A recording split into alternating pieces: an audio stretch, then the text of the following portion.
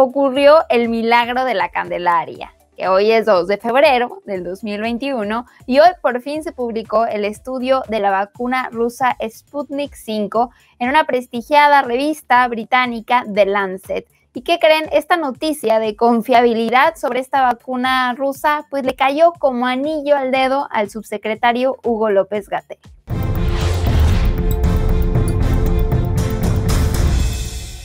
La vacuna rusa desarrollada por el centro Gamaleya publicó en The Lancet los resultados de estos análisis de eficacia en la fase 3, ¿no? Es un análisis intermedio de un desarrollo clínico, un ensayo clínico en la fase 3 realizado a 20.000 participantes. Esta publicación ocurre después de las dudas generadas por su opacidad y los escasos datos disponibles sobre su efectividad, sobre la efectividad de esta vacuna rusa para que no haya pierde. Y hoy el subsecretario de Prevención y Promoción de la Salud, Hugo López Gatel, influencer número uno, que le encanta viajar todo el tiempo, esta noticia pues le cayó como anillo al dedo, así que vamos a escucharlo y ahorita lo comentamos. Y aquí dice, la eficacia vacunal fue 91.6%. Sputnik V, eficacia vacunal 91.6%. Y aquí está el intervalo de confianza, que es 85.6 a 95.2. Es una actualización, no la teníamos contemplada, pero en este momento acaba de llegarnos el artículo, se publica esta mañana, 2 de febrero, Día de la Candelaria, en la revista Lancet. ¿Por qué enfatizamos esto? Por lo que ya decíamos en las últimas dos semanas, hubo toda esta inquietud, se pronunciaron periódicos, columnistas, eh, canales de televisión, estaciones de radio, en una angustia que nos parece legítima, nos parece totalmente legítima, de encontrar dónde estaba la evidencia de que la vacuna era segura y eficaz y que se hubiera realizado un ensayo clínico fase 3. Ya habíamos comentado, y aquí hago una pequeña síntesis de lo ya comentado en varias ocasiones, tanto en la conferencia matutina como en la conferencia vespertina.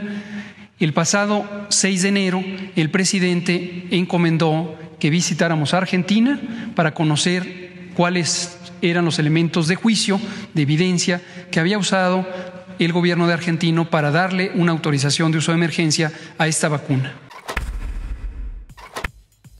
Pues es milagro de la Candelaria, señores, ¿no? La Virgencita de la Candelaria, pues nos trajo el estudio de The Lancet. Y está bien. A ver, aquí el asunto es, el problema pues, con lo que había ocurrido antes es que la opacidad había llegado a tal grado de que Hugo López Gatel fue en un viaje relámpago a Argentina y después nos dijo que se había traído los estudios, pero los estudios nunca nadie los vio. Los 16 países que aprobaron esta vacuna hasta el día de hoy, pues no mostraron esos estudios, ese estudio tampoco, María José. Entonces, pues aquí un poco, pues Hugo López Gatel de verdad le cae como anilla al dedo que el día de hoy pues ya esté este asunto, porque eso le da oxígeno con el tema de la vacuna, ¿no crees? Claro, el oxígeno que siguen buscando, eh, porque la vacuna no va a solucionar nuestros problemas momentáneos frente a la pandemia, y el oxígeno también que lamentablemente por sus malas decisiones, cientos de miles de familias siguen buscando, ¿no? Tan solo lo platicábamos la semana pasada, y es que parece como este tono condescendiente del subsecretario, como, claro, es que tienen dudas legítimas sobre la efectividad de una vacuna que pues no estaba comprobada y no había información de absolutamente nadie, como si te diera permiso de tener que preguntar o no si una vacuna que no se encontraba información y que el gobierno mexicano había anunciado que próximamente iban a llegar millones de dosis era la mejor opción. Bueno, si así lo es, qué bueno. Y creo que al final pues no está aprobada todavía por la FDA, pero FDA, pero pues si esta vacuna Sputnik 5 es de acuerdo con esta revista británica de Lancet efectiva, pues es una maravillosa noticia, ¿no, Máximo, para nuestro país?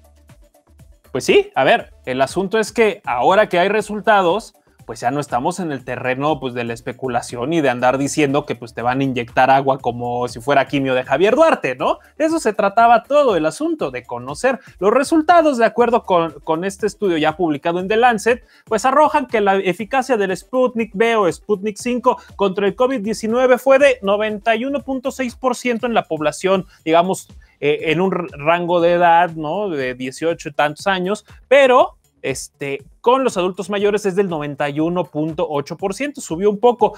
Tiene una eficacia, de acuerdo con este estudio, del 100% para evitar casos graves, como algunas otras vacunas que ya se encuentran eh, pues en, en, la fase de producción, ¿no? De acuerdo con Hugo López Gatel, además, el estudio completo y como lo pueden ver ahora, pues sí está en poder de Cofepris, ¿no? Por si ustedes dudaban. Y el subsecretario espera que pronto, muy pronto, pues se apueste el Sputnik para que los submarinos con dosis, miren, no dejen de llegar y de llegar al puerto de Veracruz, donde sea, ¿no? No más hace falta que las aprueben, ¿no? Que las apruebe aquí Cofepris, que las apliquen, ¿no? Eh, que las transporten, ¿no? que sean suficientes, pero miren, algo es algo y eso pues hay que tenerlo pues en la parte de las noticias positivas, pero eso sí, ya saben cómo pasa. Hay mucho conservador que está con la quijada trabada de coraje porque la vacuna Sputnik sí tiene los estudios publicados en revistas científicas. Apenas lo publicaron hoy y llevan meses moviéndola y hasta aplicándola en países, ¿no? Hasta parece que hacían estudios los rusos ya no con chimpancés, sino con argentinos, pero bueno, el tema es que ya están aquí, ¿no? Pero hay mucha gente enojada y creo que eso también vale la pena platicarlo, ¿no? Porque además le critican al subsecretario Hugo López Glatel que cuando le conviene, esta revista de Lancet, pues es, sí es referencia. Hoy que está el estudio del Sputnik 5 y era la que nos surgía, pues ahora sí la revista es muy fregona, pero saben que cuando no le gustan las cosas, pues la publicación es básicamente fuchicaca. Como cuando en septiembre hubo un artículo que cuestionaba, no lo van a creer, la forma en que se maneja la pandemia aquí en México. Así lo dijo Hugo López Gatel hace unos meses. Vamos a ver.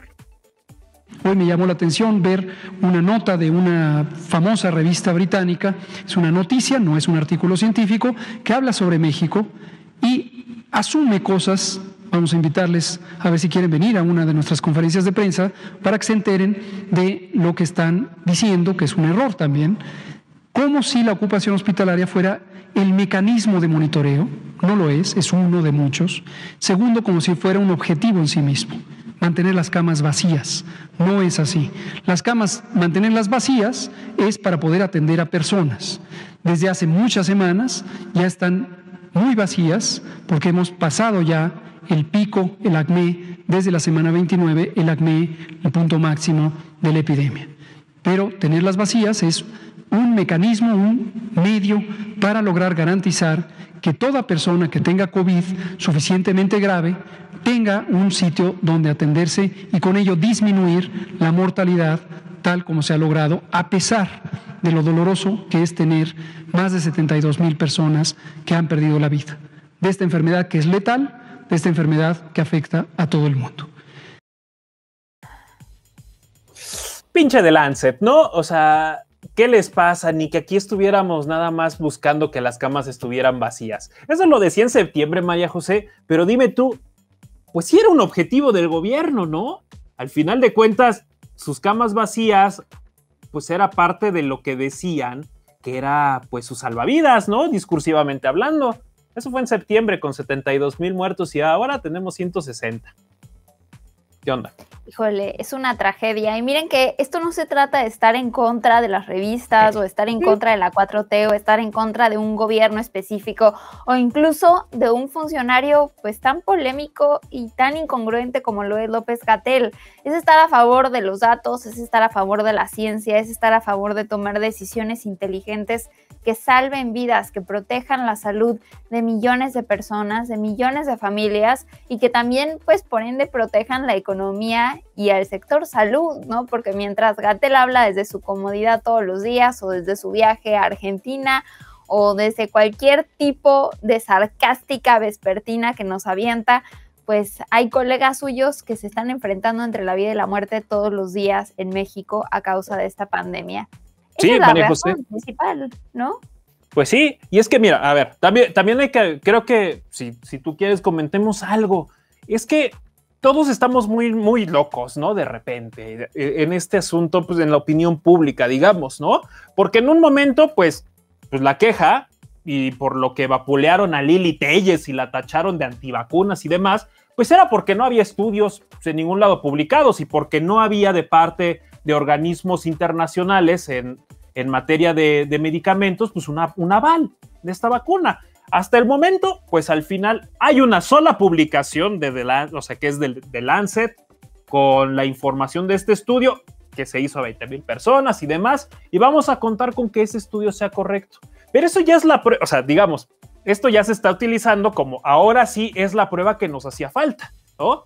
Por los que están defendiendo el asunto del Sputnik 5. Y los que siguen teniendo dudas, pues ahora están diciendo, la, esta publicación pues no se supone que era tan mala y ya nada más hay una publicación y falta la FDA.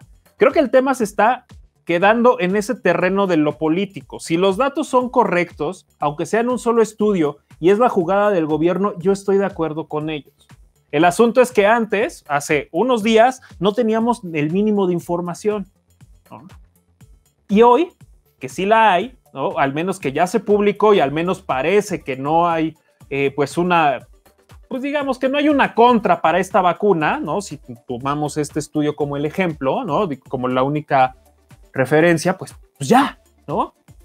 ¿Tú cómo ves esto? O sea, porque a mí me parece que hay mucha gente que se quiere estar peleando forzosamente con que el gobierno ya lo hizo mal por ahora estar empeñado en esta vacuna cuando no ha tenido suerte pues con la llegada de las demás. ¿Cómo lo ves? Claro, mira, yo creo que al final este lugar en el que todo el mundo se está peleando se llama Twitter y Facebook, básicamente, en donde ah, pocas veces eh, existe la oportunidad de entablar una conversación. Hay mucha desinformación en torno a las vacunas. Eh, al menos desde este espacio siempre vamos a abogar por los argumentos, por la ciencia y por confiar justamente en la comunidad científica frente a una pandemia. Creo que las dudas sobre cualquier vacuna son legítimas mientras o sea, mientras no desconfiemos nada más por desconfiar o que alguien nos cae bien o nos cae mal, ¿no? Creo que las dudas deben de surgir desde un lugar para ser mejores y para aprender y para tener mayor claridad, información, mayor transparencia. Una vez que se disipan esos rumores, se disipan esas suposiciones, se disipan esas dudas, tenemos que seguir confiando como siempre en la ciencia porque al final es lo que nos va a sacar, ¿no? Entonces, si tú hace 15 días tenías unas dudas sobre la vacuna Sputnik 5, ¿por qué? Porque no había ningún órgano fuera de Rusia que pudiera decir, oigan, pues no está tan mal esta situación, al parecer se parece al resto de las vacunas que se están desarrollando en el mundo, eh, pues no, no pasa nada, ¿no? Podrían cambiar la información y esto lo dije hoy en la mañana en el podcast de aquí en Confianza con Karen Ministra, la información especialmente en una pandemia está viajando rapidísimo. No pasa nada si tenías dudas, no pasa nada si haces esas dudas, principalmente si estás a través de la opinión pública o los medios de comunicación, pero en el momento en el que tenemos nueva información, pues simplemente eh, la decimos y listo, y creo que se puede, pues, arreglar, ¿no? Tan fácil. Pero oigan, por cierto, algo que no dice esta revista de Lancet ni ninguna otra publicación científica sobre el tema de las vacunas es que al parecer tiene serios efectos secundarios, incluso sin habértelas puesto, sin que hayan llegado a México, porque al parecer causa amnesia y pérdida de la razón. Y es que este gobierno, ah. el mayor afectado es quizás el subsecretario Hugo López Gatel, porque piensa que mucho con la vacuna de Sputnik 5 y lograr esta vacunación, pero se les pasa que simplemente las vacunas no han llegado al día de hoy y solamente se han aplicado 675 mil dosis y mientras tanto vamos hacia arriba en número de defunciones, vamos hacia arriba en número de contagios, vamos hacia arriba en la ocupación hospitalaria en todo el país. Y creo que ahorita es cuando tenemos que aterrizar a hoy, a mañana, que no se va a solucionar nada más con una vacuna. Y es que parece que esta campaña de hablar constantemente sobre las vacunas y sobre el nuevo portal, hace que se les olvide que la pandemia se encuentra en un punto crítico, mucho peor de cuando hace unos meses decían que era el pico de la pandemia y nos tenían a todos asustados. Hoy tenemos más de 150.100 defunciones en este país. Estamos cerca de los 2 millones de contagios acumulados y estos, otra vez, son los registrados. Podrían ser mucho mayores de acuerdo con el subregistro de otras, otros males. Y es que pensamos que tiene que ser una enfermedad, la forma en la que se maneja pues, la pandemia, ¿no? La manera en la que se maneja el propio López Gatel. Una clase de mal degenerativo que haga que hasta el epidemiólogo de primera es responsable de que se le olviden cosas tan básicas como el manejo de la pandemia hoy o algo tan básico que te va a salvar la vida y a los que están a tu alrededor como el uso del cubrebocas. Vamos a escuchar a López Gatel. Virus SARS-CoV-2, representada por un número muy sustancial de casos que ocurren por contagios al interior de ese país, la contribución que puede tener viajeros internacionales es francamente pequeña, aun cuando se tratara de personas que provienen de países que tienen una transmisión muy activa. Porque entre otras cosas está muy documentado que las personas viajeras generalmente son personas de bajo riesgo o de baja probabilidad de tener enfermedad activa, precisamente porque en general las personas no viajan estando enfermas. Es desde luego posible que algunas de las personas que viajan se encuentren en el periodo de incubación y se pudieran encontrar también en un periodo presintomático en el que ya fueran transmisoras. Si se hacen pruebas como la prueba de PCR, que es la prueba estándar, se tendría una mayor probabilidad de detectar la presencia del virus SARS-CoV-2 en las secreciones respiratorias. Sin embargo, realizar una prueba de PCR es eh, muy demandante en términos tecnológicos, se requieren laboratorios especializados y estos no están disponibles en las ciudades en las que están todos los aeropuertos. Y ahí está la verborrea que saca todos los días López Gatel. Mientras tanto, mientras dicen que si no es confiable el cubrebocas, como ya llevamos casi un maldito año de pandemia y ya tenemos información suficiente, pues al parecer seguimos con esta idea de meter todos los huevos de la canasta en torno a una, dos, tres vacunas que todavía no están en México, pero que a pesar de la esperanza que nos pueda provocar, sí, la próxima vacunación masiva en nuestro país, especialmente para los adultos mayores, pues no es la solución de hoy, ¿no, Máximo? Pues no, y es que miren, bravo, bravísimo por tener el portafolio de vacunas más amplio del mundo, como dice Marcelo Ebrard, pero pues no llegamos ni al millón de vacunados. Bravo por haber gestionado, por haberle cerrado el hocico a toda la gente que estaba con dudas sobre el tema del Sputnik V, que digo, al final de cuentas sin FDA, sin OMS y sin la autoridad europea, pero no se preocupen, le cerraron el hocico a la oposición. No tengan bronca con eso. Ustedes sean felices disfrutando como hay 159 mil muertos, hoy van a haber 160 mil seguramente. Y todo esto, pues bien, gracias. Y parece que la enfermedad que invade a la mayor parte de los funcionarios, pues es un bicho político, ¿no? Porque, pues con este tema de que ahora piensan que los viajeros, es que escuchen a Gatel, ¿lo escucharon? Ahora dice que pues los viajeros no son una preocupación real, ¿no? La gente que viaja a México de vacaciones, pues no es un tema para preocuparse porque la gente no suele viajar enferma, ¿no? ¿Qué cosas? ¿No? Así, así de fácil, así se la traen. Ellos ya están pensando en cualquier otro tema. Pareciera que ya se les olvidó que la pandemia va a seguir. El propio Gatel decía, las pandemias no son cosas que se terminan de la noche a la mañana, María José. Y míralos ahora, amnésicos, con un mal cognitivo que ya ni siquiera entienden, pues que el asunto de la pandemia sigue estando ahí. Pero bravo, ¿no? Le callaron, le, cerraron la boca a la oposición, ya, ya obligaron al presidente a salir, ya caminó sin el pinche cubrebocas, además ahí en Palacio Nacional todo infecto el señor. Qué bueno, ya triunfaron. Nada más les hace falta ver cómo solucionar que estos 160 mil muertos no se conviertan en muchísimos más porque no tenemos para cuándo y al final están vendiendo humo con la vacunación. En Estados Unidos, ¿cuántos millones llevan, María José? Yo sé que no hay comparación y que, y que pues, Estados Unidos, el mundo y las farmacéuticas sí los pelan, ¿no? No son unos apestados como nosotros, pero pues ellos llevan 30 millones. Aquí no llevamos ni uno y aquí se está vendiendo como, como que estamos en el top porque hay un portafolio amplísimo de precompras. Carajo, es engañar al pueblo con una falsa esperanza, Suscribo cada palabra que estás diciendo, sí, pero también tenemos que entender, y por eso es la crítica en conjunto que estamos haciendo de que otra vez la vacuna no va a solucionar el tema de la pandemia ahorita en México. Obviamente es importante, sí, pero las pocas vacunas que hay en el mundo la han acaparado varios países, incluyendo Estados Unidos o Canadá, por ejemplo, pero bueno, deciden empezar a pelearse con esas administraciones ahorita. Eh, pero hay, pocas vacunas a nivel internacional. Europa se ha atrasado mucho en su proceso de vacunación justamente por lo mismo y sabíamos que no es, no son enchiladas, no es algo que sale la noche a la mañana. Claro que no.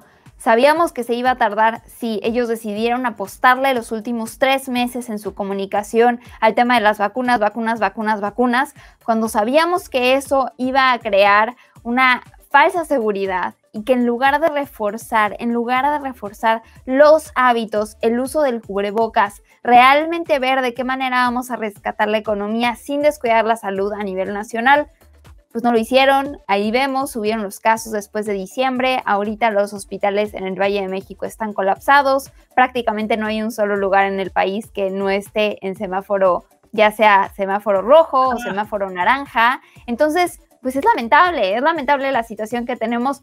Por cierto, hablando de tema de vacunación, hoy en la mañanera compartieron pues este portal para que los adultos mayores ah, comenzaran a registrarse un portal que no tuvieron en cuenta que tal vez como 15 millones de personas se iban a meter al mismo tiempo. Ahí está. Y que claramente está saturado y nadie se ha podido registrar para registrar a los adultos mayores. Eh, tenías que poner tu CURP, tenías que estar activando en la entidad y el municipio en donde te encuentras en ese se encuentra para que le dieran la cita para la próxima vacunación en algunas semanas. No dudo que así lo sea, claro que sí, pero simplemente pues son torpeces. Digo, esto sucede constantemente, son millones de personas que se están metiendo a un portal que supongo que es nuevo, no sé, ojalá que hayan pagado el dominio, aunque sea, pero pues son cosas que suceden, todo el mundo y ahí ves la necesidad de las personas de sentir esta seguridad de que próximamente alguien, algún ser querido, se va a vacunar, ¿no? Nosotros estuvimos en la mañana intentando meter para registrar a personas cercanas a nosotros, a nuestros padres, y pues no hemos tenido éxito así. ¿No? Una, pena que pues con tanto y con, tanto potencial para realizar las cosas correctamente, pues nos encontremos que hasta para pues, lo evidente, ¿no? Que se te va a saturar el servidor porque va a entrar mucha gente a registrarse, pues ni siquiera para eso hay una logística lamentable y ojalá que todo este camino se corrija, pero pues bueno, pues ahí tienen una más de nuestro gobierno, ¿eh?